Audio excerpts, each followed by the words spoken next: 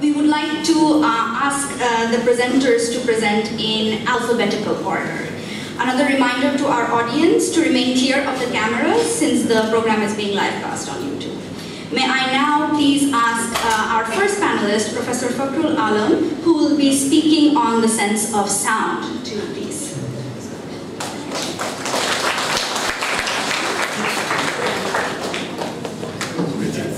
Thank you very much. What will Shamsad think of next? Teacher, scholar, critic, administrator, marketing genius, postmodernist. That's Shamsad for you.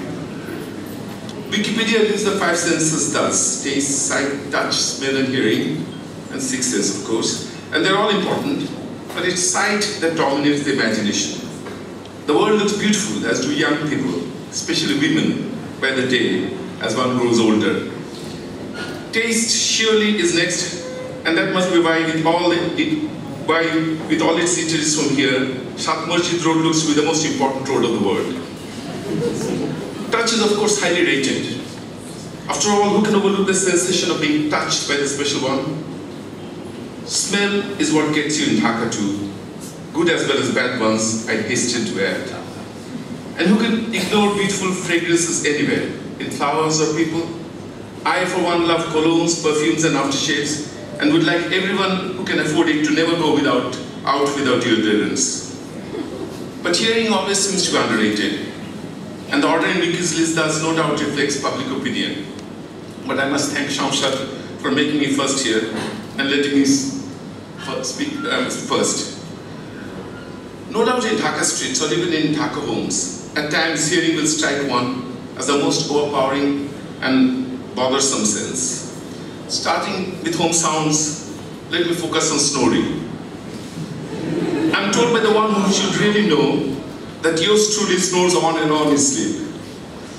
My dad did so while watching TV and said he didn't, and so once we snore, recorded his snoring. I have his genes and I guess Baba must be laughing at me from above now. But what is terrifying for me is the prospect of sharing a room with someone other than my spouse, who after all, can always take over hearing aid when with me to sleep soundly. On a couple of occasions I had to share a room with someone else, and one of them, and with one of them I really suffered because I went to sleep late and the other person started snoring immediately. On another occasion I shared a room with someone who's here, and it was a wonderful experience. Both of us went to sleep immediately and nobody complained. So we decided that it must be our spouses making this up. In Dhaka, as we all know, unwanted sounds will bother you a lot of the time. The call to prayer, for example, sounds beautiful on TV. When you switch on uh, and hear it uh, wafting out of the grand, uh, grand central mosque of Makkah. But what if you're unlucky enough to live next door to places where they use multiple mics all the time and the callers are all out of tune? And what if you're unlucky enough to be living close to where would-be leaders give loud and obnoxious speeches? I live in the ninth floor of a building opposite British Council and sometimes get disturbed by student leaders trying to impress everyone miles away by praising their leaders and parties or shouting slogans in the middle of night. I'll confess I can't stand any noise when I'm studying. My students, some of whom are here, will know I hate people talking in class. Corridor noise in Dhaka is unbearable at times. And I can't even start talking about noise in Dhaka streets. Loud people and crazy honking drivers, enough to make one go mad when in our streets. So often you wish you had earplugs with you. And yes, sound can be so cacophonous, sometimes you want to plug your ears permanently. But think of the beautiful sounds that we hear without which we couldn't survive. Think of sounds like the one Neil Diamond sings about in his wonderful song, What a Beautiful Noise, which you'll hear at the end of my presentation. Everyday sounds coming from the streets, street vendors, children playing in the streets, vehicles accelerating smoothly. Sounds can fill your ears reassuringly. And if you don't hear them, the world seems so empty. I, for one, will miss Dhaka University's sound, uh, you know, filled corridors forever. And think of music, the sound of music. The moment I heard Vivaldi's Four Seasons decades ago, I fell in love with Western classical music. And the moment I hear, I heard Beethoven's Ninth Symphony and the Ode to Joy in its last movement, I thought, delusively no doubt, heaven was on earth. And I have to say, I can't imagine my day going well without hearing Rabindra at one point or the other. For sure, hearing music is something I treasure and will never be able to slight. As the bard once put it, music is the food of love, and to me, one of the best ways to love life itself. Think now of the beautiful sound great writers create and celebrate. Recall the opening stanza of Lawrence's lovely poem about his mother playing the piano and singing, Softly in the dusk, a woman is singing to me, taking me down the vista of years till I see a child sitting under the piano in the boom of the tingling strings and pressing the small boy's feet of her mother who smiles as she sings. And think then of the tragic implications of not even hearing your mother sing when you read Shamsur Rahman's brilliant poem, Kokuna Amar Make Gaan Gaiti Shunini, which always reminds me of my mother because I never heard her singing either. Reflect too on Milton's Divine Harmonies, and think of the other blind giant of literature in English, Joyce, and his brilliant chapter on Dedalus, of Dedalus walking in the Proteus chapter of Ulysses. Stephen, and I'm quoting, closed his eyes to hear his boots crush, crackling, crack, and shells. You're walking through it howsoever. I am astride at a time. A very short space of time, through very short times of space. Five, six, the Nacheinander. I hope I've got that right. Exactly. And that is the ineluctable modality of the audible. I could go on, this is a brilliant chapter of sounds, but I have run out of time. Recall Keats's autumnal music, implosive field lines such as While barred clouds bloom the soft dying day. Or Jibanananda Das's equally spellbinding sibilant shushed line in Banalata Sen, Shishire Shabder Mato Sundhashe. Or Dylan Thomas's sonorous admonitions to us all in Do Not Go Gentle into the good night. The sound of music and the sounds of great poetry. How can anyone exclude hearing from your list of important things to appreciate when in English departments? But when we think of sound, we must also try to tune it to its binary, silence. For the two are forever locked in Saussurean opposition. One can't talk about sound without talking of silence. The sound of silence as the Simon and Garfunkel song so beautifully phrases it, must therefore conclude my presentation. There might be people like Rashina around, Rashiano around who bark, silence is commendable in unique tongue tried, and a not vendible, but they have no place for those with sensitivity and preternatural apprehensions. Also, if you come across someone really talkative or a loud mouth like Gratiano, remember Bassanio's comment on his friend, Gratiano speaks a great deal of nothing. And remember too, that silence is proverbially golden. And know that we must all learn to hear silence as well as sounds. Think thus of Harold Pinter's use of silence in his plays, so menacing, so pregnant with meaning about human communication, or lack of it. I, for one, am forever amazed by postmodern composers like John Cage and Steve Reich, and the way they punctuate their music with silence. But I, my sixth sense is saying my time is up. And so I'll end with that classic quote from the bard, the rest is silence, and ask the organizers to play, play Neil Diamond's song to remind you a final time that we must value and learn to admire hearing, appreciate heard melodies, and even unheard ones in Dhaka or elsewhere. Thank you. May I now call forward our next panelist, Professor Golam Sarwar Chowdhury, who will be speaking on the mysterious sixth sense.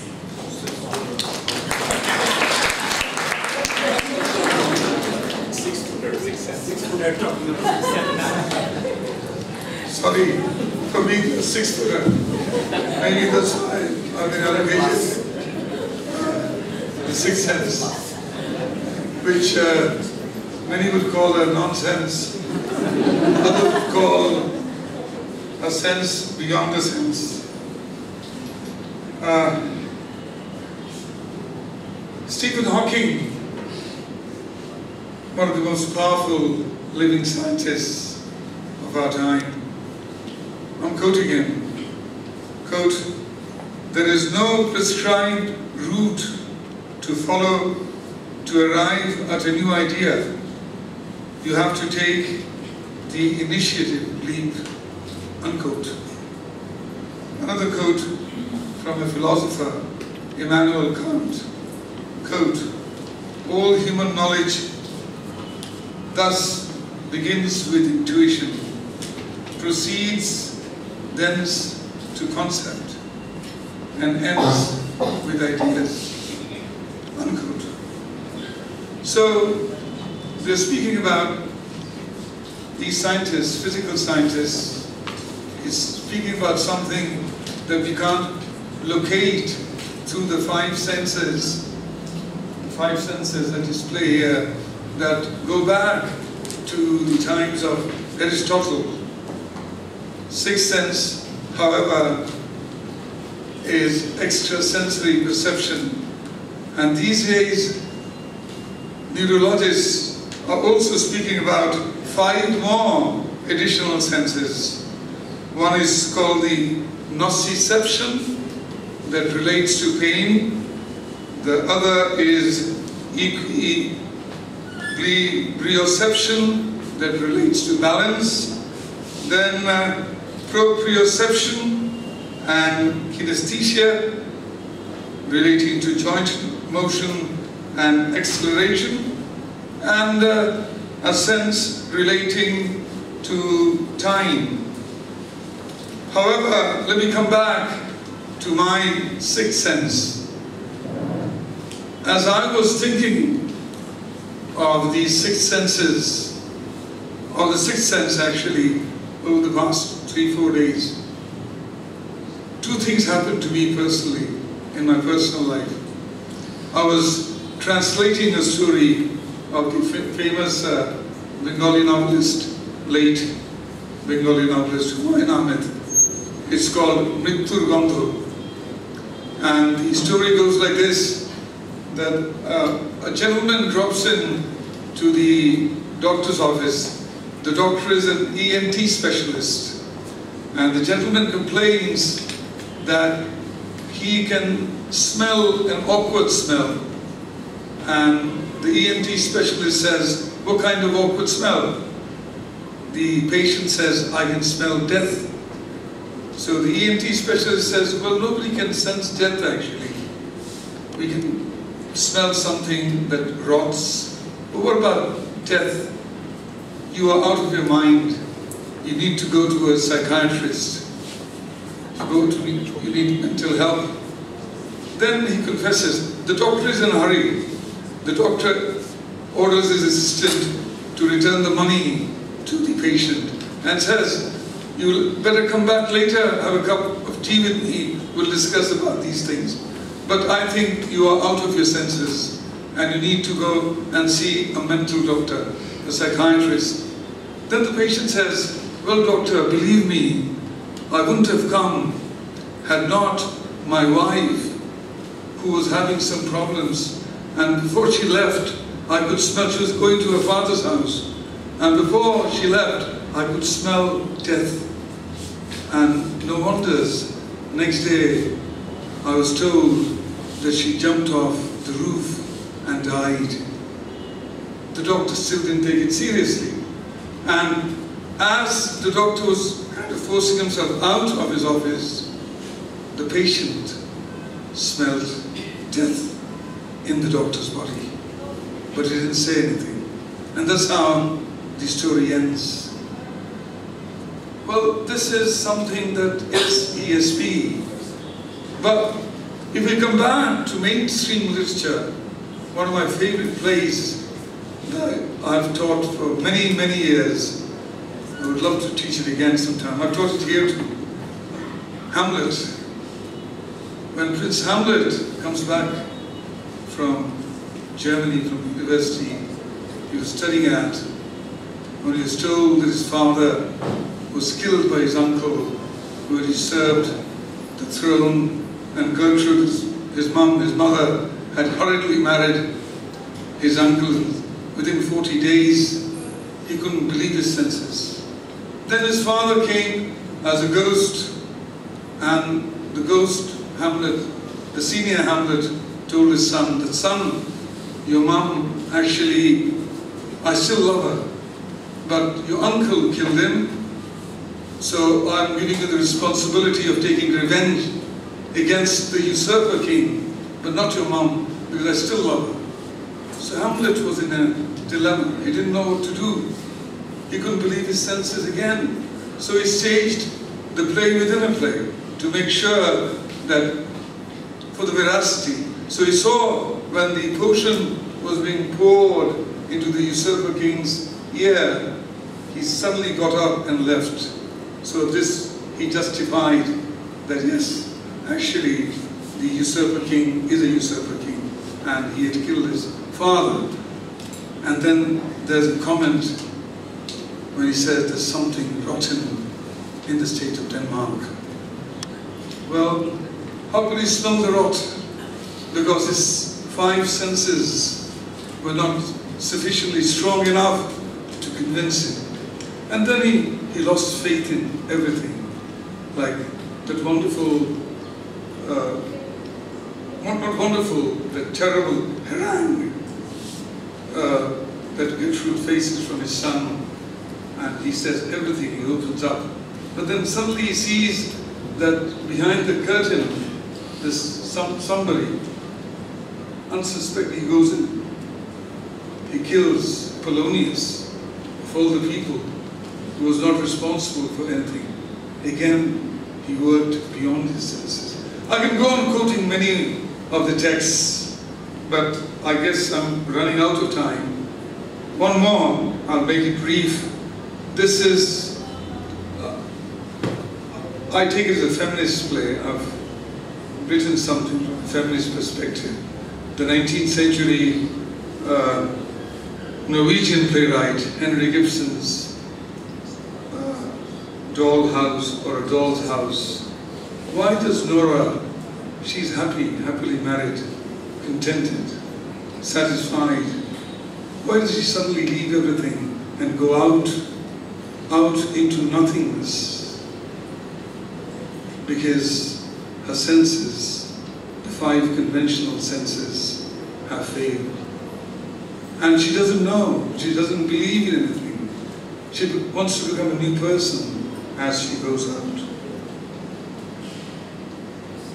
I've, uh, well, I would not, I think, continue. Well, I can continue. I want to think, little bit about uh, Freud and uh, Jung. Finally, I was watching a few clips from the fifth, the, the film. Many of you might have seen The Sixth Sense, which was released a few years ago, and it was a kind of a hit film. But as I saw the film, I could not really discover any sixth sense there, although lots of Oedipus complex, elements of the Oedipus complex, and elements of the Freudian theory of repression was there in the sixth sense. And uh, the last uh, point that I'll make and leave is very personal. Uh, a gentleman, a family friend, a relative, who is was five years older to my father. My father died 30 years ago. A week ago, I was, I was having a sleepless night that I have occasionally. And after midnight, I suddenly started thinking about this gentleman, my father's friend. And I was thinking of him, thinking of him, thinking of incidents, events relating him to my father, to me, to the family. At seven in the morning, suddenly I received a phone call from my brother in Chittagong saying, the gentleman is dead. Thank you. We'll be speaking on the sense of taste. Thank you.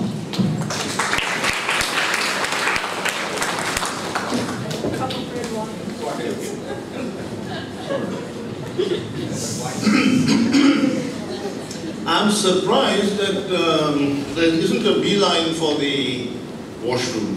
This is turning out to be a very formal academic conference. That is not what we are supposed to be. We are supposed to talk about the senses. The senses will battle, not us.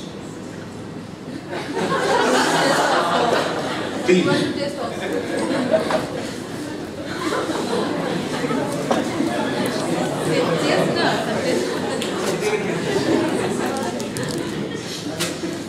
That should stop you from going to the washroom.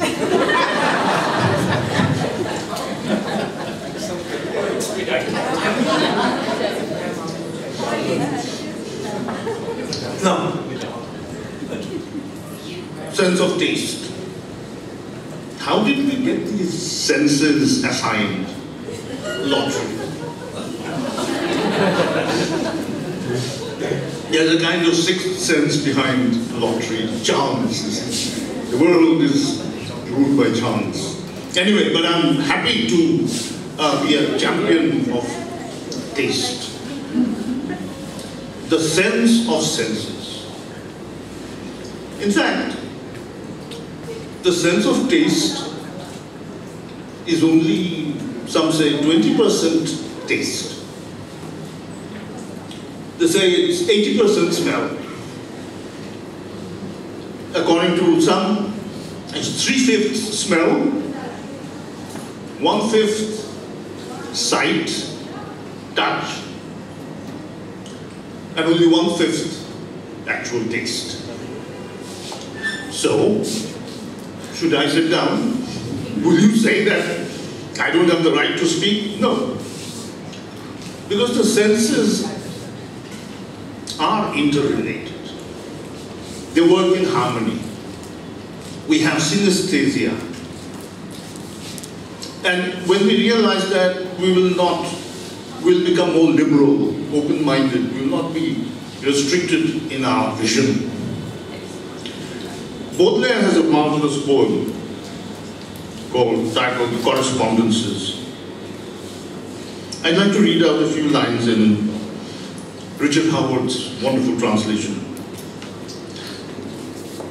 The sounds, the scents, the colors correspond.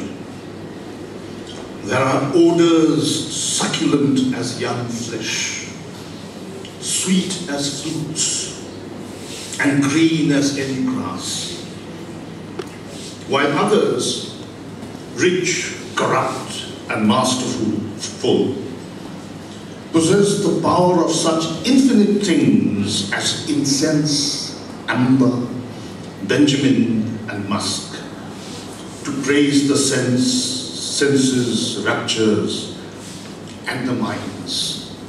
In other words, when we don't think in terms of isolated senses, but the senses interacting, intermingling, we realize we become bigger. Our world expands, our minds expand. We transcend our limitations and uh, we become richer human beings. Now, so um, where does taste come in here?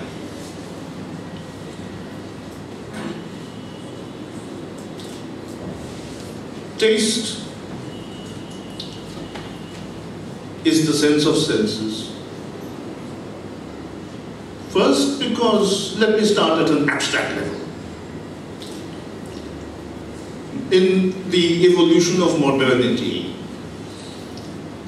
we have the emergence of new epistemic formations, political science, Machiavelli, this is, I'm talking about Western history. You have aesthetics. They happened at about the same time. Aesthetics began with taste. The theorists of taste were reacting against the rationalism fathered by Descartes. In, if you're a rationalist, you reason things out. If you say it is beautiful, you say, ah, it is beautiful because it satisfies these criteria of beauty. You see, the proportions are like this, etc., etc. But the theorists of taste pointed out that no, you see at a glance, you see at once that some, something or somebody is beautiful. It is your taste which tells you that that object is beautiful. And from this concept of taste came the modern discipline of aesthetics. And aesthetics, the importance of aesthetics in the modern world cannot be exaggerated. As Nietzsche said, it is only as aesthetic phenomenon that life can be justified. So we owe a lot to taste as this abstract concept. You, can say, well, this is not the taste that we are experiencing now. No, but they're related. Because the taste that we experience in here with our taste buds in the mouth is also immediate. Just as you encounter when you see a beautiful painting and it's lovely, in the same way you taste something and you say it's delicious or disgusting, whatever. So there are lots of studies nowadays. I'll not go into those. Like there's a book called Making Sense of Taste. Food and Philosophy by Carolyn Korsmeyer. I would advise you not to read it.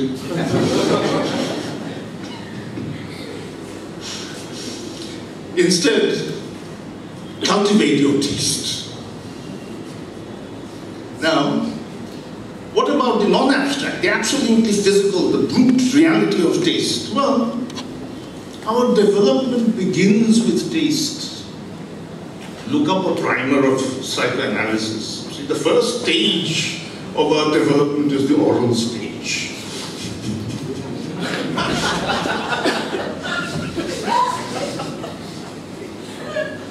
then you move on to the anal sadistic and etc. And even the government of Bangladesh is very aware of it. I don't know if you receive emails from the government. I do. If you haven't received it, I'll gladly forward it to you. মাতৃ দুগ্ধপান টেকসই করতে আসুন ঐক্যবদ্ধ ঐক্যবদ্ধ হই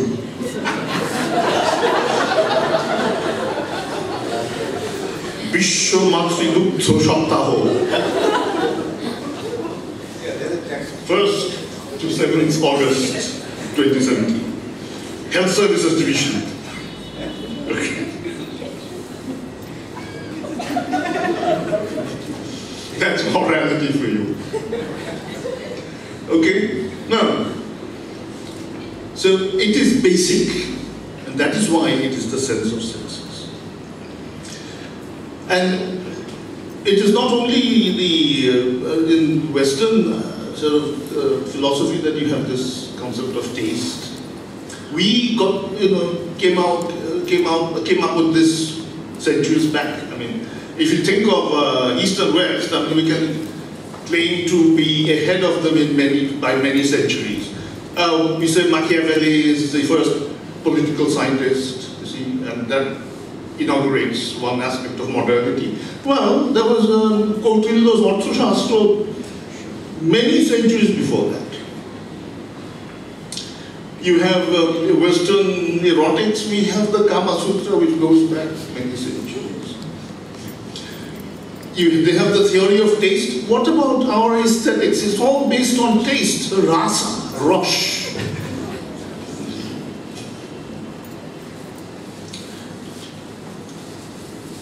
You know, let me just uh, read a bit from that. You know, in rasa theory, you have the aim, the, what happens when you experience art? The audience experience the relish, see, the ashab, Russian ashab. And through that, you experience the different bhavs, sthayi bhavs. So we are familiar with the importance of taste in our culture. In our system of medicine, Ayurveda, you have these, um, you know, uh, dosha, vata, pitta, kapha. And good health depends on the balance between these. And balance, the balance has to be maintained by eating the right kind of food. So, if you, if you look up any work on Ayurveda, uh, on the Ayurvedic system, it's all about taste. Eat this, a bit of that, you see, and the balance will be restored. You'll lead a happier life.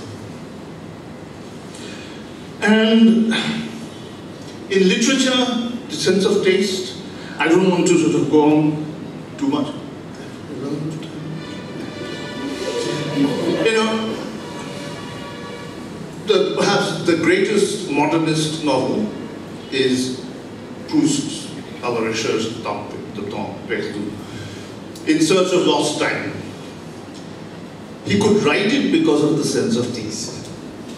One day he ate a cake called the Madeleine in French, and it brought back flood of memories of his childhood, and he started writing.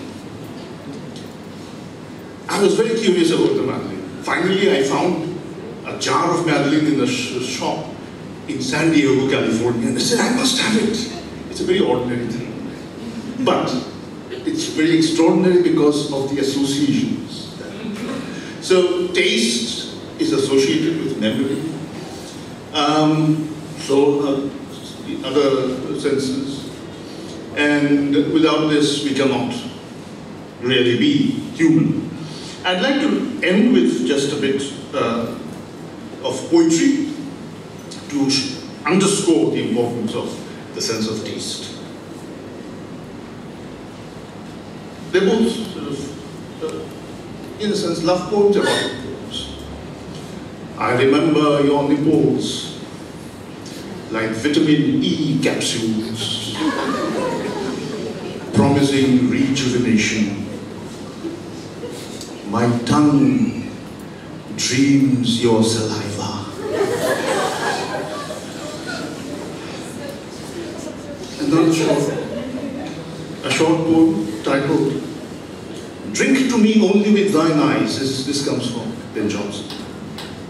That's the aperitif in love's feast. Lips for hors d'oeuvre. The entree is eaten with single chopstick. For dessert, pectoral kulfis topped by sweet raisins. Then cheeses, your right armpit's Stilton. The left, Gorgonzola. And I slide down for a drop of liquor. You see? Just one little clip. Casablanca. Everybody's favorite love story. And remember at the end? He's, he's with uh, uh, Humphrey Bogart with Berg, Uh, Ingmar Bergman and says, here's looking to you. Here's looking at you, Kerry. That's all he can do because she has to leave. They can't, you see, carry on. Here's, here's looking at you, kid. If they didn't have to part, he would have said, you look good enough to eat.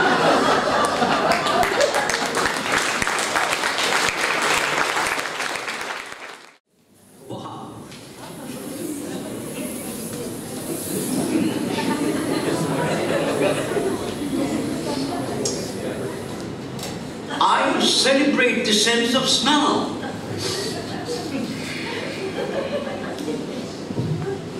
In a conversation, my respected teacher, Professor Syed Manzoorul Islam, already responded to the adjective olfactory by saying, the olfactory Our beloved Bangladesh itself is a massive factory of smells. And I completely concur with him. In any event, my life, my life will be dull without the aroma of the freshly brewed coffee in the morning. The smell of my little daughter's hair. The smell, the kind of smell that brings back fond memories of my grandmother's kitchen. And of course, the smell of books. I admit I'm a book fetishist.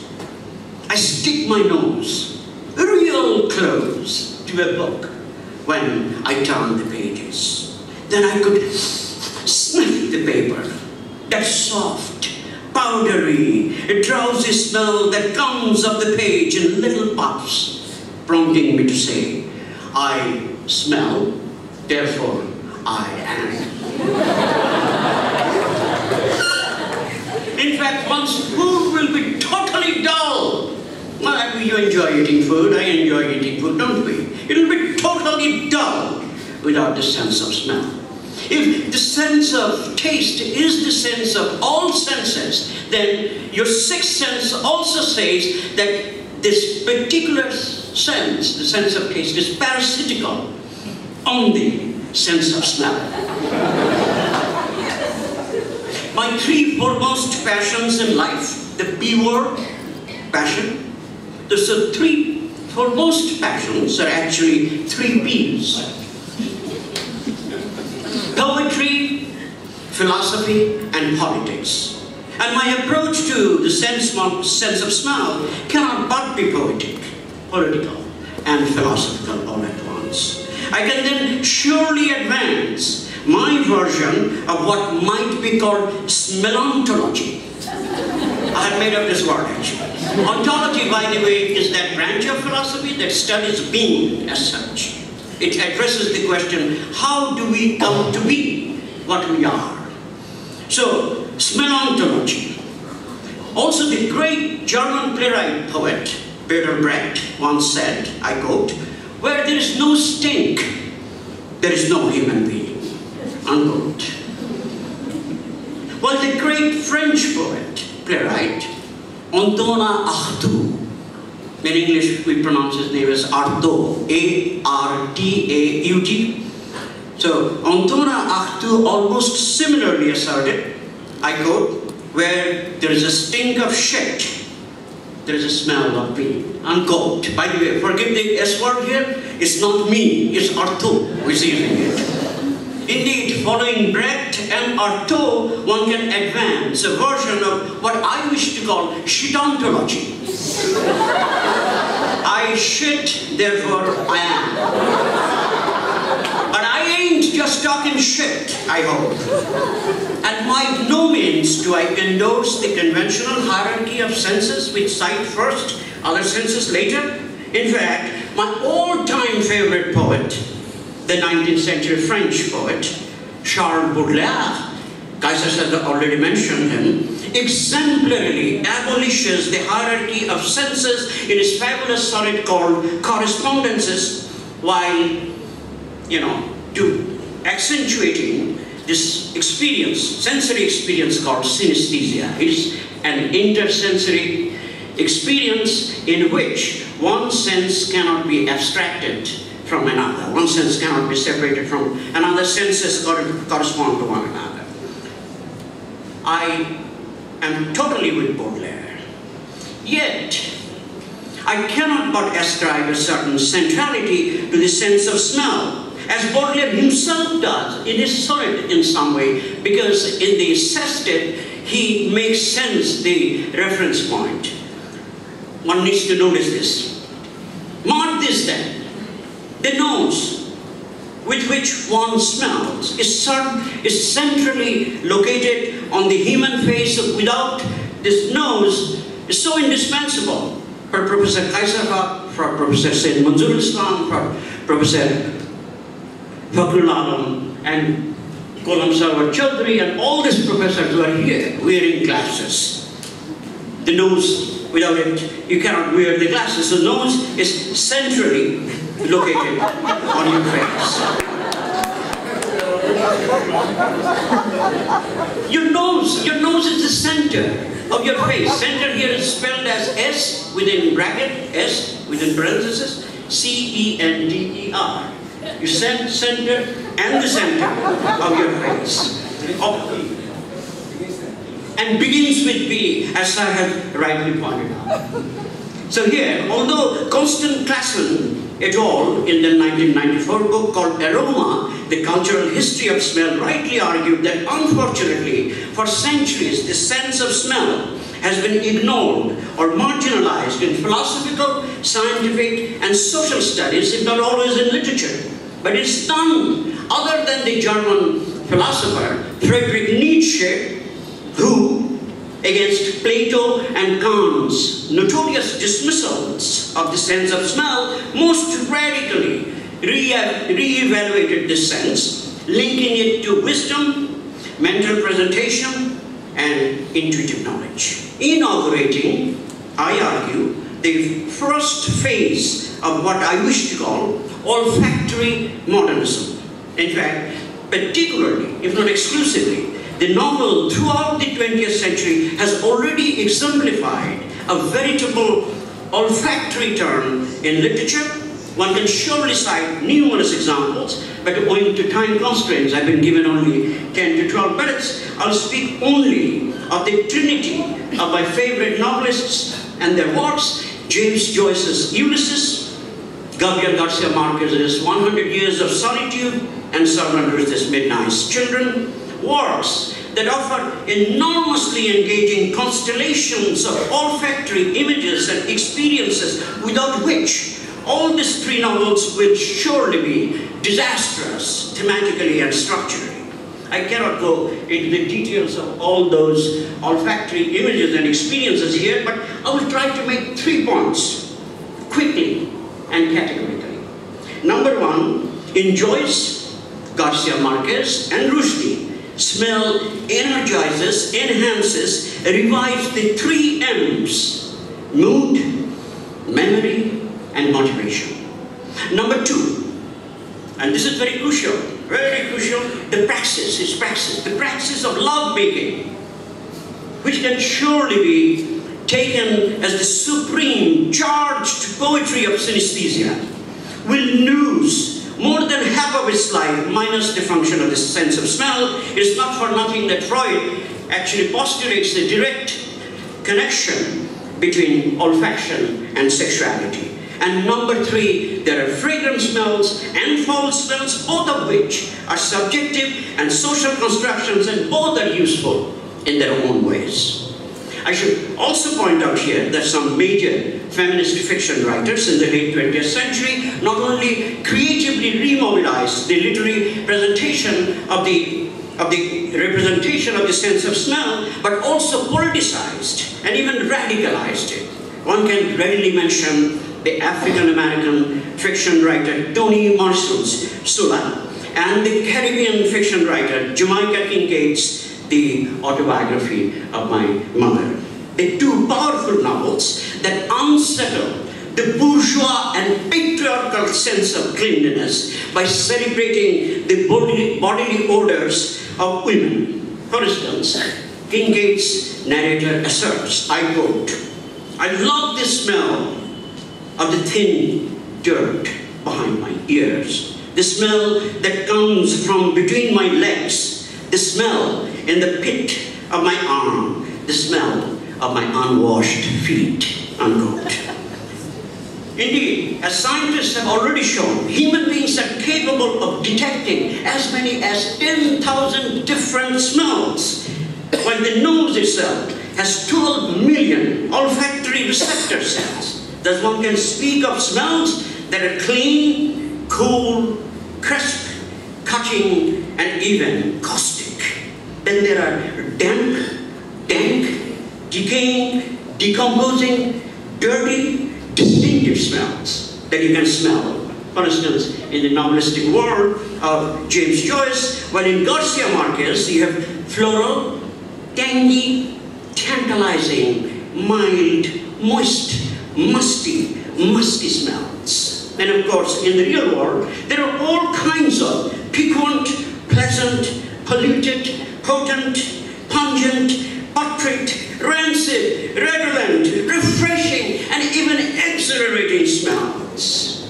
But the entire range of smells available in two fundamental sites, I argue. All smells are available in these two fundamental, these two material sites, nature and the body. And they can surely instigate a whole new world of fascinating imagination, wonder, and fantasy. And the world of literature will be terribly impoverished by the absence of this sense of smell.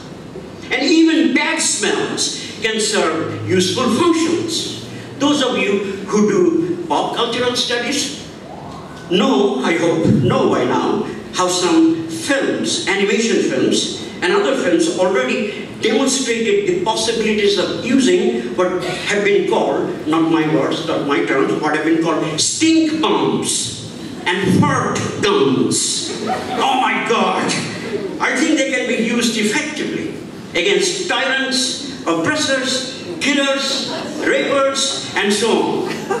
And also, James Joyce shows, although scatologically, how smell can indicate this intensity, the level of intimacy, and even can be epistemologically enabling. I can't help quoting James Joyce quickly here from his selected letters and beer with Joyce's scatological mood and moment, and I apologize on behalf of James Joyce if his words end up hurting your sense of linguistic hygiene. So here is Joyce about his wife Nora. I quote. Are you ready? All right. I think I would know Nora. Nora's fart anywhere in the world. I think I can pick hearts out in a room full of farting people. It is sudden and dry and dirty, like what a old girl would let off in fun in school dormitory at night. I hope Nora will let off no end of her farts in my face so that I may know their smell also. Unquote. Well, well, let me move away from this scatological and round off my talk with a prose poem of mine uh, written in response to two poems. It's a, it's a, it's a one minute long poem. Uh, written in response to two poems about smell I really admire. One is my all time favorite poet, Pablo Neruda's Ode, Ode to the Smell of Wood, and the other one is William Carlos Williams' poem called Smell. So let me read my prose poem. It's in Bengali. হে মহান জীবনানন্দ আপনার কবিতায় নীল সাগরের ঢেবে ঢেবে ফেনার রূপলি ঘ্রাণ এবং পৃথিবী ছেয়ে যাওয়া ধানের সোনালি গন্ধ এবং লাল পেরে পুরনো শাড়ি থেকে উঠে আসার সময়ের ধূসর গন্ধ এবং চিলের ডানায় লেগে থাকা রোদেলা গন্ধ এবং দুপুরের স্তব্ধ জলের ক্লান্ত গন্ধ এবং ঘুঙুরের মতো বেজে চলা বাংলার নদী মাঠ ভাট ফুলের গন্ধ। গন্ধের পর গন্ধ দাদির হেসেল থেকে ভুর ভুর করে ভেসে আসা সুটকির গন্ধ এবং দাদুর জমিন থেকে উঠে আসা বাতাস ভারী করা পাটের গন্ধ এবং বিকেলের মাঠে পোড়ানো নাগার গন্ধের সঙ্গে মিলেমিশে থাকা পোড়ানো সিমের বিচির গন্ধ এবং শিকদারি হাটের দক্ষিণ প্রান্ত থেকে ভেসে আসা হই হই হই হই রই রই করা মাছের গন্ধ। গন্ধ থাকে, বিস্কুট বিস্কুট গ্রাম ভরা মুখ থেকে বেরিয়ে আসে থুতুতে ভেজা চুমুর গন্ধ। ভর রাতে প্রেমিকার ঘামের পাগল করার নোংতা গন্ধ, মাঘী পূর্ণিমায় তার চুলের রং বদলানো ঢেউ খেলানো গন্ধ। গন্ধ গন্ধ, শিশুর মুখের দুধেলা গন্ধ, মায়ের নাকে অনন্তকাল ধরে রয়ে যাওয়া সন্তানের চুলের গন্ধ। ক্যাফেতে মোমো করা কফির গন্ধ, নতুন বইয়ের পাতায় ছড়িয়ে থাকা হরফ ভরা মেধাবী গন্ধ। মার্কস মহাশয় আর ব্যাংকের ক্যাশিয়ারের নাকে লেগে থাকা ছকছকে আর করকরে টাকার ধ্রুপদী গন্ধ গন্ধ গন্ধ গন্ধ গন্ধ। থাকে আতক চালের ফক ফর্সা গন্ধ। থাকে তরমুজের রক্ত ভরা রসের টই টই গন্ধ। থাকে মৌলানা ভাসানির সফেদ পাঞ্জাবি থেকে ফুটে আসা আতরের মোলায়েম গন্ধ। কবি হাফিজের গজলে গজলে শরাবের বেহুশ গন্ধ। গন্ধ গন্ধ গন্ধ গান্ধী পোকার এক ধুয়ে ঘাড় তেরা গন্ধ। থাকে মাটির সুদা গন্ধ, শুয়োরের বোটকা গন্ধ, বারুদের ঝাঁঝালো গন্ধ, পোড়া টায়ারের গন্ধ, পোড়া মোবিলের গন্ধ, মাতাল বেকুরের ঢেকুরের গন্ধ গাঁজার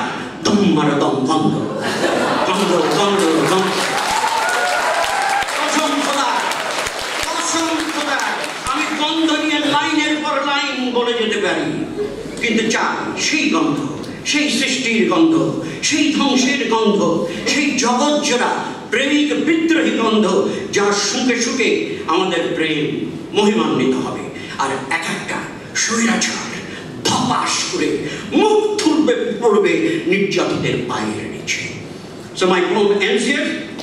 So let's reactivate and celebrate then our sense of smell to make sense of love, liberation, and life. Thank you. Thank you.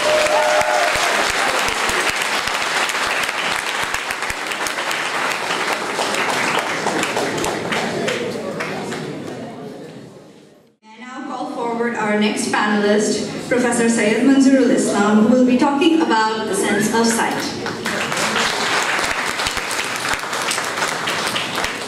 After Azfar, what forgiveness? he stole the show. Um, Azfar, you said that um, the nose is the center of the face. Remove the eyes and see how the face looks like.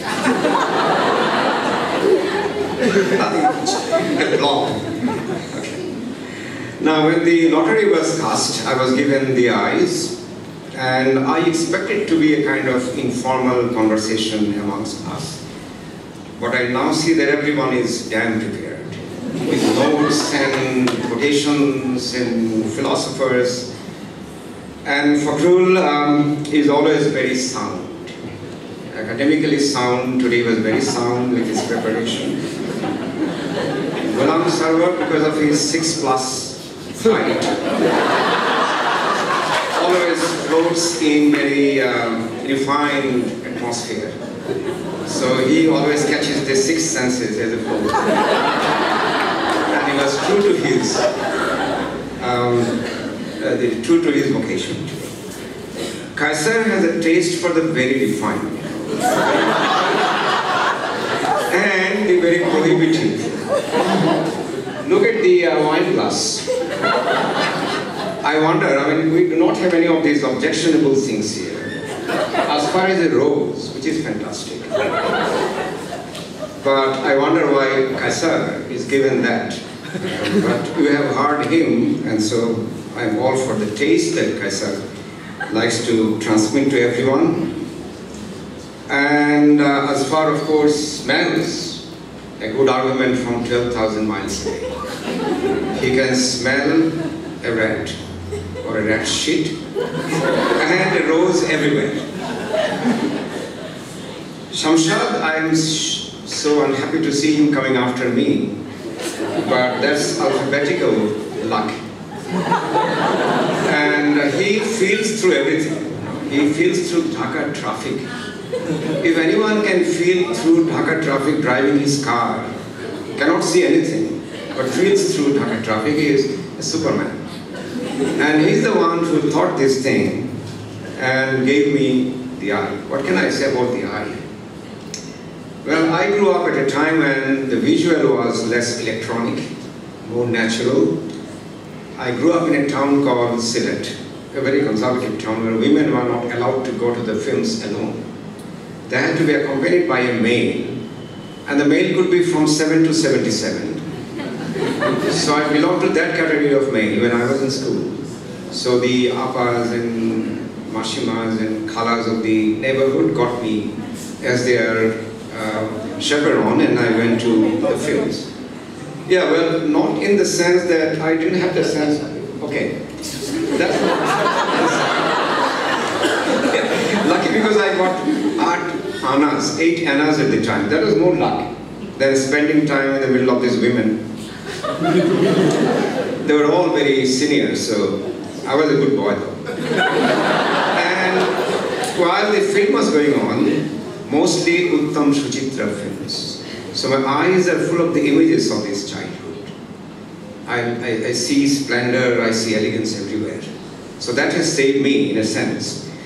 But the intimate moments came, and uh, don't have your hopes high. The intimate moments were Uttam sitting across the table, holding a hand of Suchitra's hand and having a cup of tea. That was the intimate moment. And my khalas and appas turned my face away. I was not allowed, I was censored. that scene was censored. And I grew up with a sense of what is watchable, lookable, gazeable, and what is not. And that is something I found as I studied lit- literature. How much to see and what not to see. This is a very good balance. What I see now is a surfeit of the screens. Remember when I grew up there's only one screen, the matinee show screen. Uh, screens are everywhere. You have your iPad, your iPod, your mobile phone, a smartphone, everything has screens. And while we were having a fantastic conversation, I could see many of you Facebooking on your screen. You were lost in some other dimension. Imagine without the eyes, what could you have done? Failed the Braille, Braille way or what? anyway, so the visual is everywhere now, and one situationist, anarchist, Marxist, Azfar will be very happy with this. Guy Debord had written a book. I, I know he's not anarchist, but he's mildly situationist, not normative. I'm also giving you some theory, without which how can I justify my inclusion in a panel where everyone is giving theory? and so he says we are living in a society of the spectacle, where the image is the most important dominant in our culture. Imagine what has happened to those childhood innocence days in which the beautiful was beautiful, and now things can be photoshopped. So your eyes are continuously deceived, and you are always facing a challenge what to believe and what to not.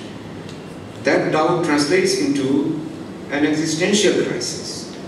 How can you distinguish between what you see and what you do not see? So hyper real, hyper visual. That is the situation we are now. Even then, the eyes are important. Perhaps because the eyes serve the most important sense, which is visual. And screens everywhere, but what you have here is also visual agency. This term I'm using in honor of Khushi Kabir. And see how eyes have translated and transmitted into many uh, into dimensions. For example, you have something called a gaze. And students of literature have to struggle with a female, uh, the male gaze. Mercifully now you have female gaze for people like Khushi Kabir, who have developed this counter gaze. So what is a male gaze? It's something that destroys the pleasure of seeing. It imposes restrictions on what you can see, how you value what you see. The male gaze is terribly disturbing. And that is a pair of eyes that male wears, which has gone through many transmutations. And now in our time, the male gaze is so strong, I think women cower under this gaze. And that is not, that's the reason why eyes transform into gazes. What about the other thing? The meanings which eye, the eyes convey. Last night I was expecting to write down something, but a friend of mine came and we got lost into the memories of childhood and we had no sense of time. So I woke up this morning, I, I didn't want to really write down whatever I wanted to feel like. But I remember while I was taking classes on visual imagery and what, the, the eyes also suggest omniscience and clairvoyance. Remember Shakespeare? He says, your eyes are windows to your soul. So this gaze inward is a very important thing. You have also your mind's eye. It's not the physical eye only. And I believe removing the mind's eye is more damaging than removing the physical eyes. I was teaching a course, I'm teaching a course in master's class here, I'm teaching Dr. Um, King Lear. I also translated this play into Bangla and you have blindness figuring prominently in the play. So what is blindness? When you lose your vision. So imagine how the transmission and transmutation of the whole eye thing is going on. Eyes, if eyes tell you about meaning, what about meaninglessness? How many of you have read the fantastic novel The Great Gatsby? The Great Gatsby, yeah. Remember this T.J. Eckleburg, the character whose eyes are painted on a billboard, these spectacled eyes, right? And he is looking down on the Valley of Ashes. Is it God looking down on the American wasteland? I'm sure God is looking down in the American wasteland now when Trump is in power. and but at the end of the novel, we realize it could be meaningless gaze. So eyes can also become meaningless. Now imagine yourself in a situation which we are, we are all going through the, in the through in this country. The uh, section 57, a journalist um, jailed briefly for writing about a dead goat. Now, eyes are not the most important thing in this consideration. is the eye of the mind which has been blinded. This is what happens in a situation where your eyes are blinded, your judgment is stunted, and you lose track of what you are doing. It's like King Lear moving through the storm in the heat and discovering that he had lost his vision a long time before he set foot on the heath. And Shakespeare is all about eyes and eyelessness and how eyes can be regained. So thank you for listening to my theory. Now the last thing I want to see about the eyes is a book um, I recently read, I, I had a long time ago read, and recently reread the book, it's called Ways of Seeing by John Berger. I would rather ask you to read this book because it's a wonderful book which tells you how many ways you can see, ways of seeing. One way of seeing, of course, I believe, is seeing the world through the eyes of childhood. I still value that childhood when I didn't have so many screens. In fact, as I said, I had only one screen. And I could see innocence in the eyes of people and beauty everywhere. What is happening in this world? You take a walk in Dhaka and you end up being the saddest person here. Dhaka is a very challenging city. Challenges your senses, your taste, and it is a circuit of sound. It destroys the fine balance in your ear. But at the end of the day, just get into a roof look out into the night sky and you will see yourself reminiscing about your childhood sky which is never blighted. So that innocence is something that literature tells you. Once again, um, I'm finishing my uh, with, a, with, a, with a small, referring to as a poem that I once read in my childhood. It's about a blind girl who is being led to the uh, pond and she cannot see anything, she can only feel, she can only touch. But then suddenly something happens in her because she is homebound girl, as you in villages, a blind girl is totally homebound. Suddenly she discovers something, her mind's eye. And she sees herself as the empowered person who can throw her eyes, gaze into the world and say, I'm here. That is the strength which I give you. Thank you very much.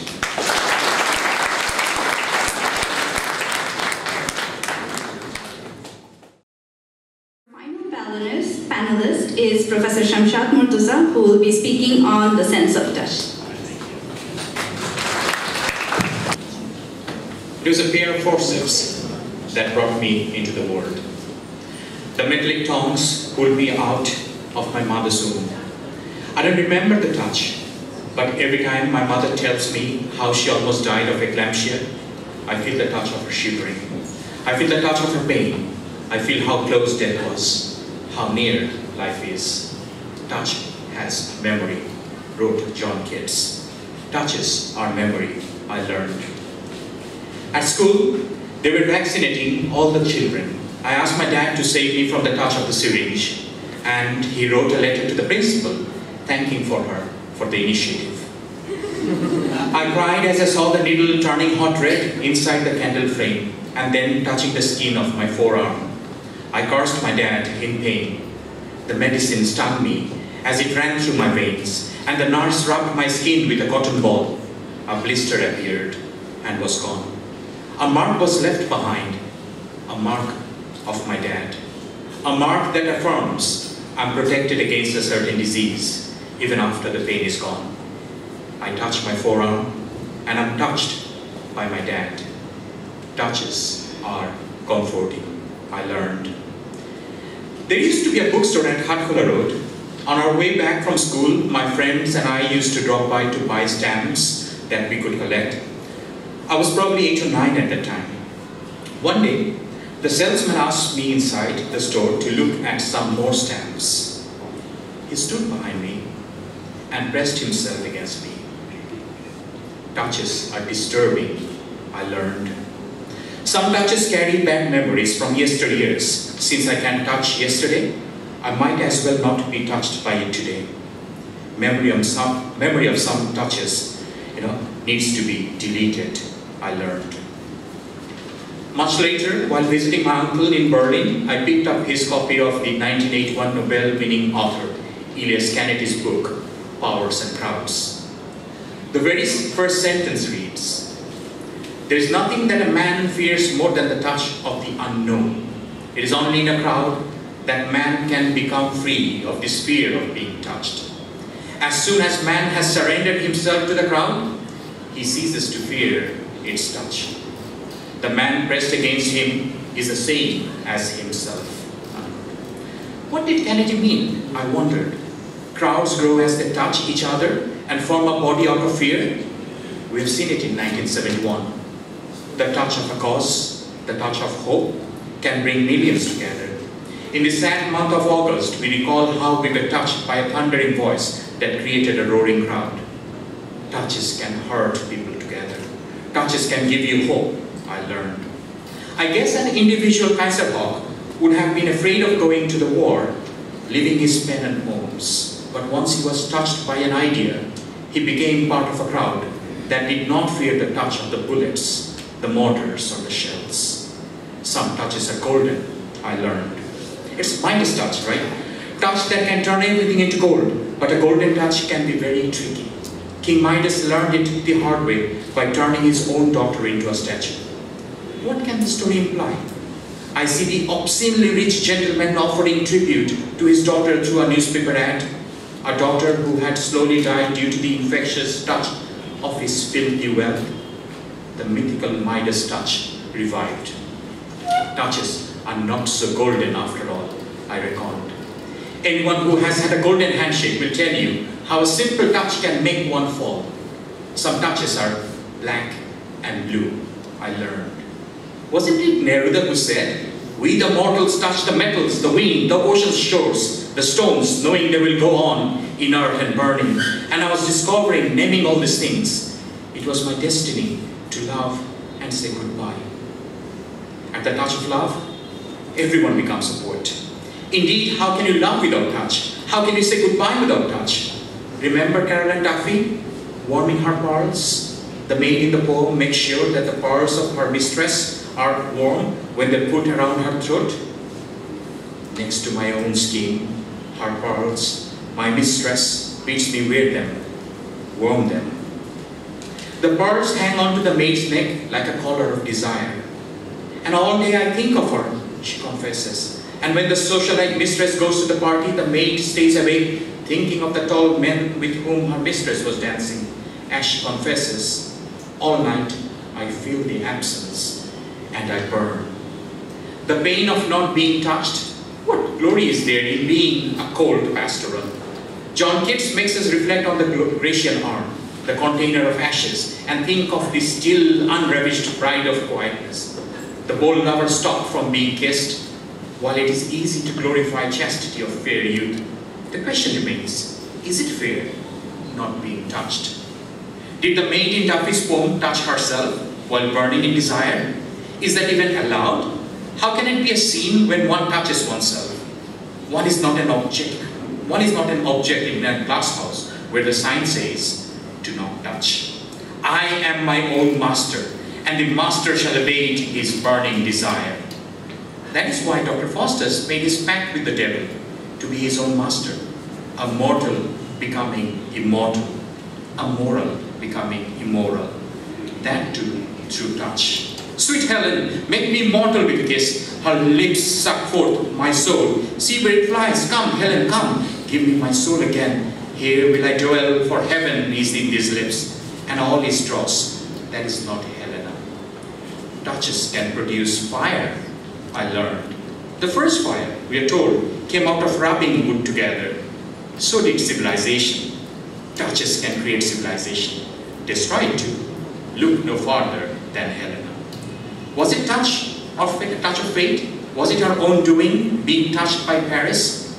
I guess that's what they call butterfly on a wheel in chaos theory. A simple touch deviating the course of, of a narrative.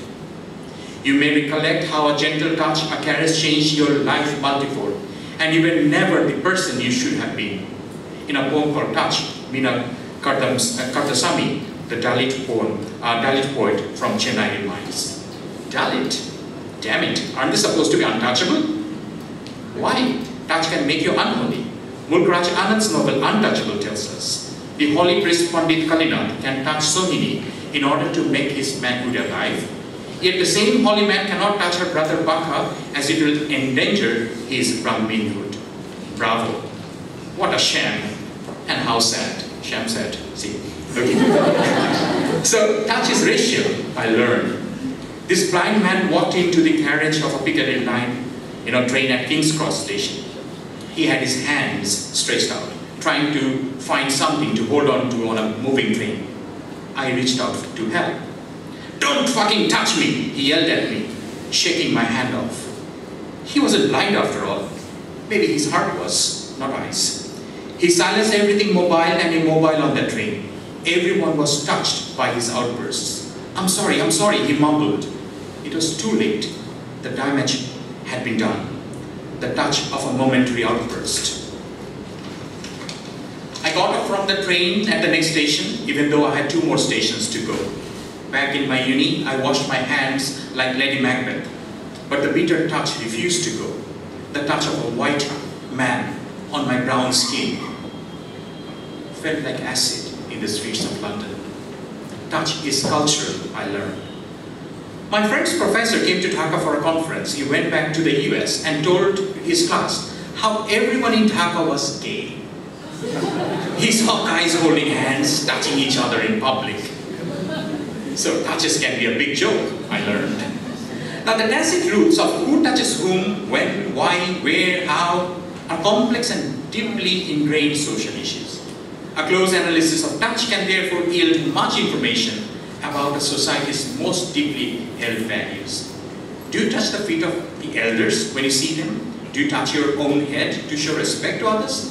Do you hug to greet, like I sir?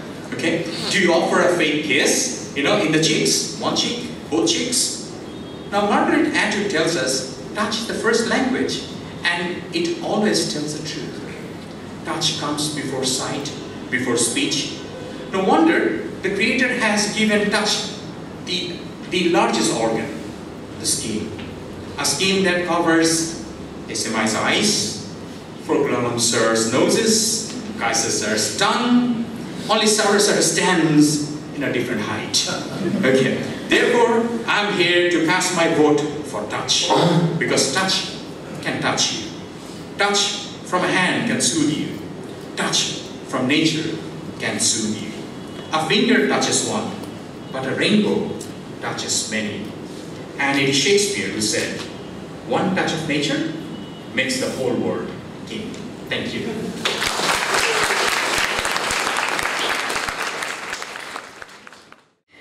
May I now please invite the chief guest for our program today, Ms. Khushi Kabir, to the lectern to share a few words about her experience here today.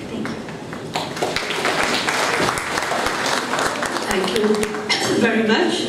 Very encouraging to come here and see a hall full of people and many standing to and listening to an extremely interesting set of thoughts, provocative, uh, perceptive, in many ways uh, touches us in ways that are beyond the just the senses, this physical sense of touch to another kind of touch that was also discussed. When I was first invited, it was Azfar who called me I, uh, I was a bit bemused, and uh, for a couple of reasons. But I said yes immediately. I love challenges. Anything that challenges me, I'll say yes. And the challenges were ones, one is that I was described as a writer. I don't know if I would call myself a writer, but uh, yes, then yesterday I was having a discussion with my daughter who doesn't stay here but we have our nightly conversations. And she said, when did you become a writer?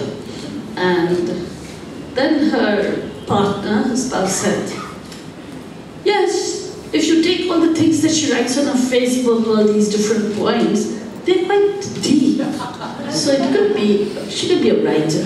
And I said, no, I think some things I've written have been published. So I guess that could call me a writer. I write letters. I write unfortunately boring proposals and reports. But I also sometimes, when I'm very impassioned, write about some things that I feel very committed about. So I said, okay, so if they call me a writer, why not? I've been constantly described as many things. Yesterday night I met a young girl who studied in India and she didn't know who I was because I was in amidst a whole group of artists and young artists.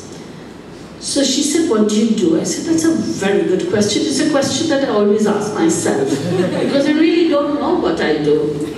I know what I feel, so I know what I speak. So in the five senses and the sixth sense is what probably drives the five senses. I thought it would be interesting to come here and listen and then say a few words. It is called the battle of the senses. And in a battle, one assumes that one has to be a winner and there has to be losers. I don't believe in losers and winners. I think one only loses one when one gives up. If you never give up, you never lose. So the battle continues. So there's no winners as such. But the battles will continue and the battles has to, have, it has to continue. But what was interesting also was, here I am a female in a galaxy of male stars.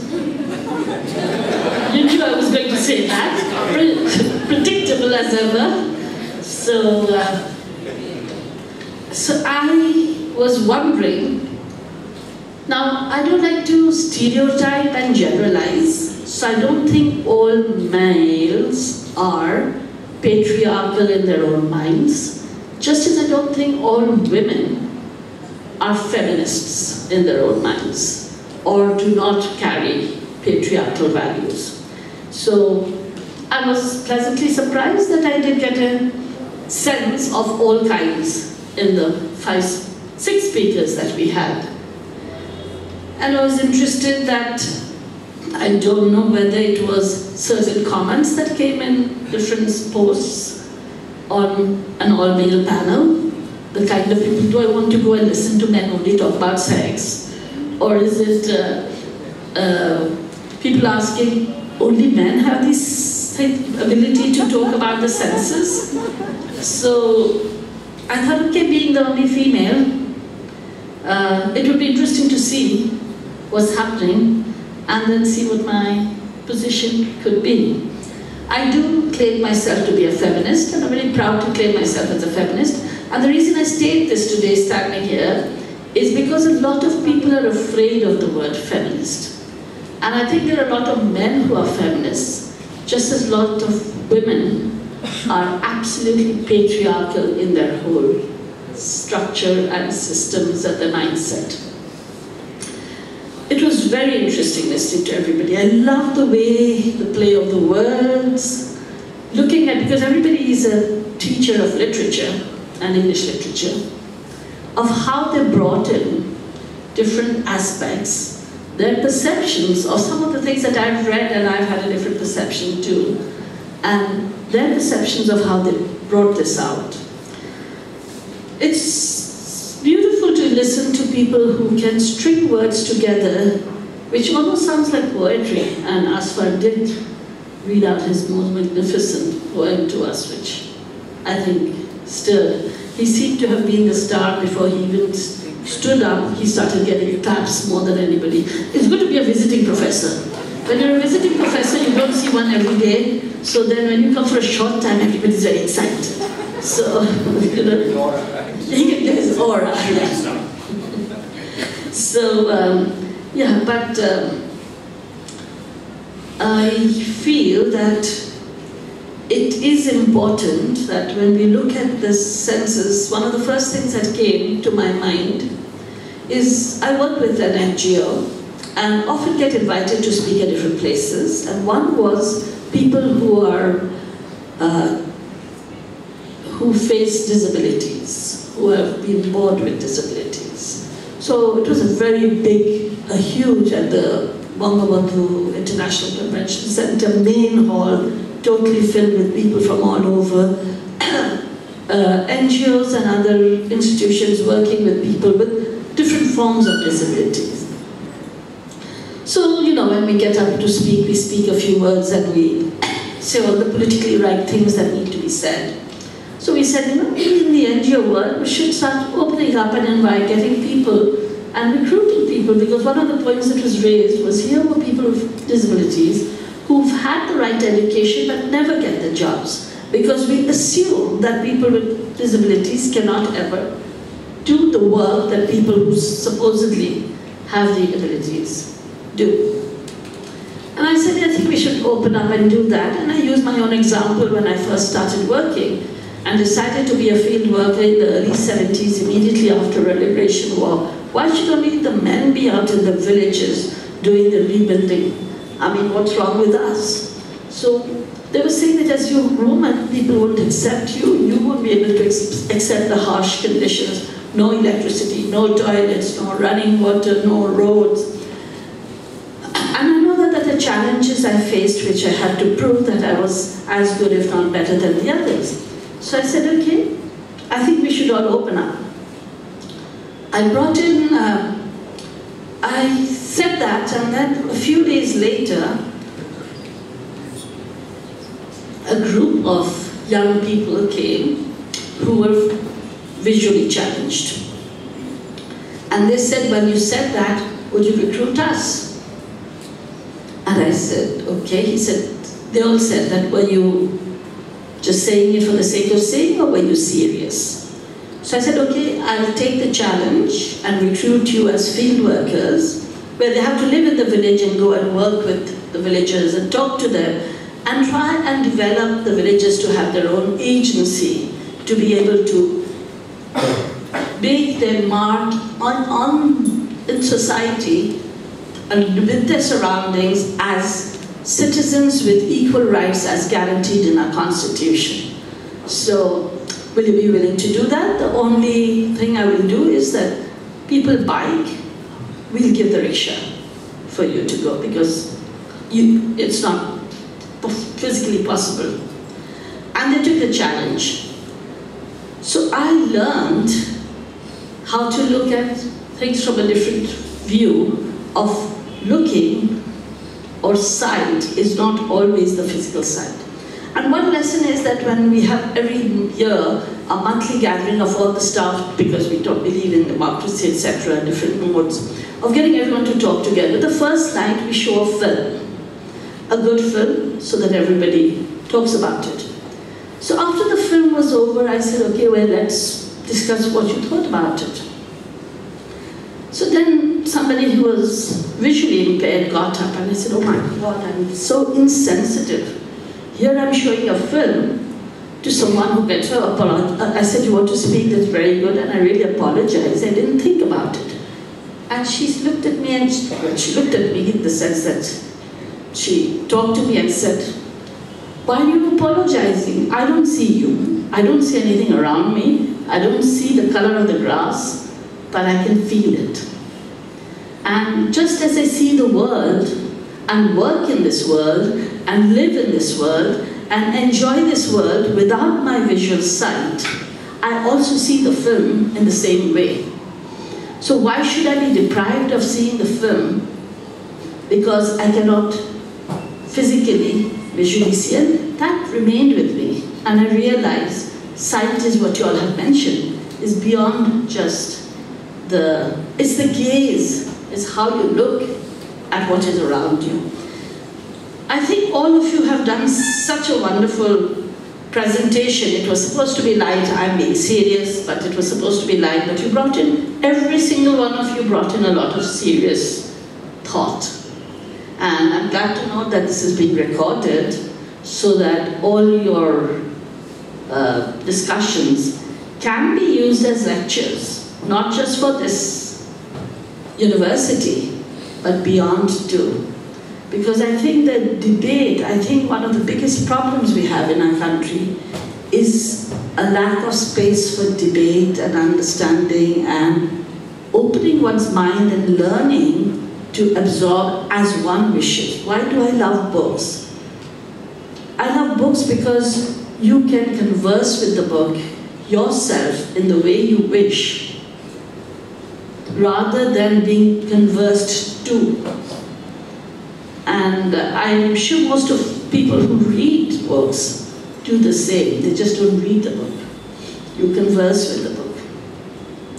And the book brings in all the five senses, which leads to the sixth sense. And the sixth sense is, uh, as you would, I think it's very, uh, for us, it can be, it can be as it was, as you want it to be. It's not something that's given. The sixth sense can be described as you yourself would like to describe your sixth sense. You may not agree and call it the sixth sense, but there is something within you that makes you go beyond the immediate and what is absolutely, you know, seems to be apparent. I mean, that's what reading does to us because the same book may be read by five people and understood and the points of the book are taken separately and that's when you can debate about books. And the same would be with smell, with touch, with taste. I mean, uh, everything. I mean, I look at myself now. I never, my mother was a great cook. I never went into the kitchen. But now, I recall the taste of the food she made, and because I like food, I try and see what is this, what did she put into it, because now I can distinguish between the different ingredients. So I can tell the lady who helps me in the house with the cooking as to try this out in this way and that way, and some memory from somewhere of how she did it comes back and it almost comes near, near to that, though I never went into the kitchen. So there is something about taste which is also bringing in other things. And I don't think one can look at one without the other. And it's not just the physical sound, positive, negative, the cacophony of Dhaka city. I think it's the noisiest city in the world. Uh, and there are a lot of noisy cities in the world the, the taste and how taste differs, something that one likes, another doesn't like. It's just, you go to a restaurant with a group of people and you never know, you've never ordered right because some people may like exactly what you ordered, some people may hate what you ordered. So it's, uh, the taste is something that remains within you and something that you still, some things make a big mark on you, some don't. And I think it would be the same for everything that is possible. I, I feel that if some of the participants here, I think a few I would say would call themselves feminists, I hope so. Uh, there were stronger, really feminists whose main ingrained feminism is within them, the talk would have been a little more interesting and diverse. I'm not saying that it wasn't interesting, it was, but the diversity would come in much more. And uh, whereas I wouldn't agree with everything that has been stated, and it's not correct for everyone. I think it's very important not to agree with everything that's stated. It's very important that we all start questioning and trying to understand, even if we agree, why do we agree with it? And if we don't agree, be very clear in understanding why we don't agree and where we don't agree. And I think that's very important. For me, Nora, and for all of us, Nora, when she walks out, it's not that she had a happy house, home, not a happy life. That last statement of walking out is the culmination of what a large number of women live. Apparently, nothing wrong, but yes, inside, and I don't know what, when it is not part of the five senses nor the sixth sense, but it is the feeling which is not the same as touch, of what one goes through, the mindset one goes through.